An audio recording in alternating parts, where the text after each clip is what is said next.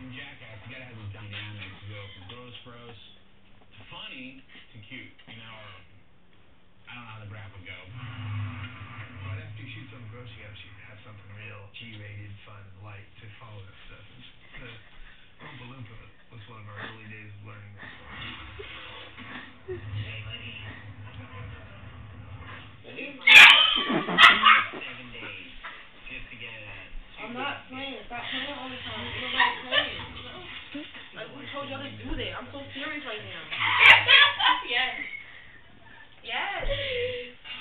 And mom, you recording. Like,